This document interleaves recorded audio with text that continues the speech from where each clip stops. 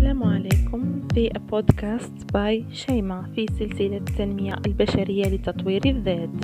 سأعطيك بهذا المقطع مفتاحا من أهم المفاتيح للتغيير الشخصي. لو استعملته فسوف تتحسن في كل شيء في حياتك. يحتاج منك استعمال هذا المفتاح وتطبيقه في حياتك دقيقتين في اليوم فقط. وقبل أن أعطيك المفتاح دعني أسألك سؤالا. كلنا نريد أن نتغير للأفضل في عباداتنا وعاداتنا وحياتنا في كل شيء تقريبا. لماذا ينجح البعض في ذلك ويفشل المعظم؟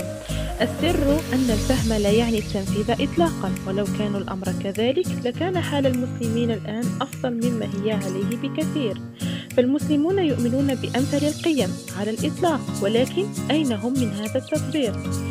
فالفهم لا يعني التنفيذ إطلاقا. فأثبتت فاعلية من الذين يحضرون الدورات التدريبية لا يتغيرون إطلاقا بنسبة 70% فيغيرون شيئا ما وليس كل شيء الذي قام بهذه الدراسة هو الدكتور مارشال سميث الذي يعتبر مفكر القيادي الأول في العالم نعم بحيث كان يذكر الباحث أنه في نهاية كل دورة يسأل الحاضرين هل تنوون تغيير ما تعلمتوه؟ كانت الإجابة نعم بالمئة بالمئة. إذا لماذا لا يتغير الناس برغم أنهم يريدون هذا؟ النتيجة هنا أهم جملة يمكن أن تسمعها في علم التغيير. لن تتحسن بدون متابعة. وجدت الدراسة أن هناك تناسبا طرديا. واضحا جدا بين التغيير الذي حدث والمتابعة. فالذين لم يتابعوا لم يتغيروا إطلاقا والذين قاموا بالمتابعة تغيروا بقدر تلك المتابعة. إذا ما هي أفضل طريقة إذا للتعلم؟ من هنا يجب أن تعمل لنفسك جدولا. للمهام اليومية تراجعه كل ليلة. لترى التزامك بما وضعته. لم تثبت هذه الطريقة جدوى كبيرة بسبب صعوبة الالتزام بها والملل السريع منها وسهولة تركها. والطريقة الجديدة التي سأذكرها لك هي طريقة الدقيقتين يوميا. نعم لنبدأ العمل. أحضر ورقة واكتب فيها الأمور التي تريد أن تغيرها. ما هي النشاطات اليومية التي تريد القيام بها أو التوقف عنها؟ ما هي أهم العادات العادات التي تريد اكتسابها أو التخلي عنها؟ سأقدم مثالا أحضر ورقة أولا هل صليت الفجر في جماعة؟ ثانيا كم مرة غضبت اليوم؟ ثالثا هل قرأت جزءا من القرآن؟ رابعا هل شاهدت فيلما وثائقيا؟ خامسا كم ساعة جلست تصفحت على مواقع التواصل الاجتماعي؟ سادسا كم قضيت اليوم مع أطفالك؟ سابعا كم دقيقة قرأت اليوم؟ هذه الورقة لن تحتفظ بها لنفسك بل ستعطيها لشخص آخر يتابعك بها كل يوم بأن يسألك هذه الأسئلة وتجيب عليها.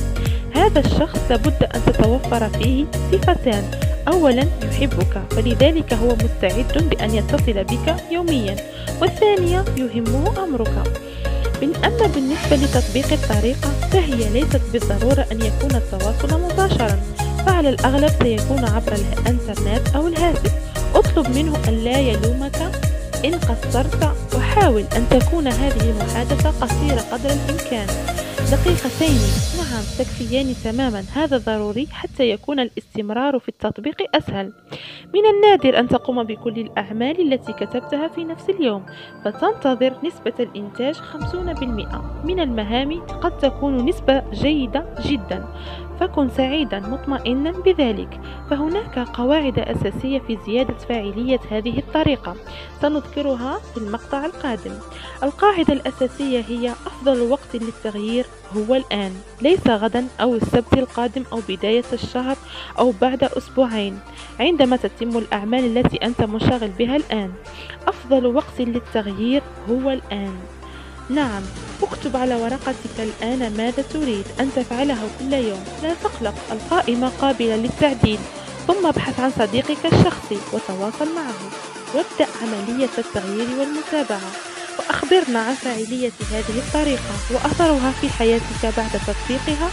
لها. لا تتكافل ولا تؤجل. استعن بالله ولا تعجز. كانت معكم بالهدف شيماء من بودكاست باي شيماء. Think big you get big. إلى اللقاء في المقطع القادم.